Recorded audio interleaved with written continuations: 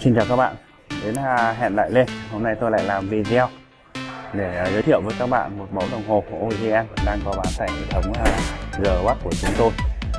Hình thù em nói ra làm sao như thế nào Thì chúng ta cùng khám phá em nói nhé.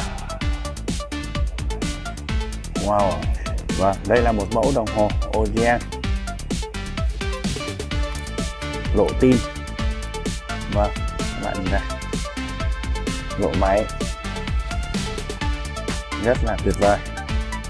Em đó có mã là G AG 0001S10B Vâng, đây là một mẫu đồng hồ à, dành cho nam giới. À, Vâng, có độ dày là 1cm Vâng, 1cm Và à, lộ máy, vâng, đây là đồng hồ cơ các bạn nhé.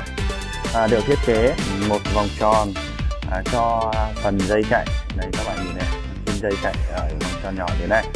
Vâng, còn à, Vâng, là 9 giờ này thì là được thiết kế một ô lộ à, máy rất là đẹp.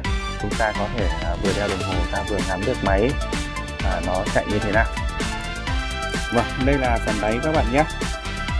Đây các bạn nhìn này. Đấy, lộ máy rất là đẹp. À, lộ máy rất là đẹp. Đây là phần dây.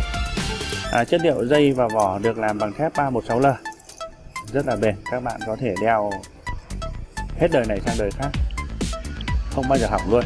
Thì các bạn biết rồi à, thương hiệu Ogen thì à, đã là một thương hiệu có tên tuổi tại thị trường Việt Nam và quốc tế rồi.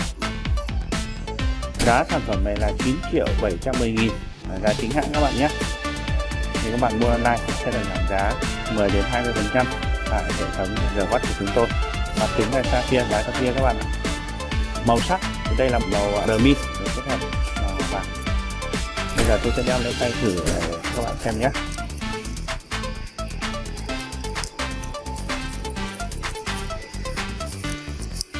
Đây, đồng hồ này có sai mặt là 41 đó. Các bạn thấy không? Rất là đẹp luôn. Rất là vừa vặn. Các bạn là có cổ tay à, vừa vừa hoặc là lớn một chút đeo mẫu đồng hồ này cũng rất là đẹp. Và rất là đẹp. Không phải bản canh gì nữa. Và vâng, đây là một mẫu đồng hồ. Tôi nghĩ là rất là tuyệt vời so với tầm tiền. Các bạn là nào có nhu cầu thì hãy liên hệ với chúng tôi ngay nhé. Và bây giờ thì xin chào và hẹn gặp lại các bạn trong những video tiếp theo. Xin chào.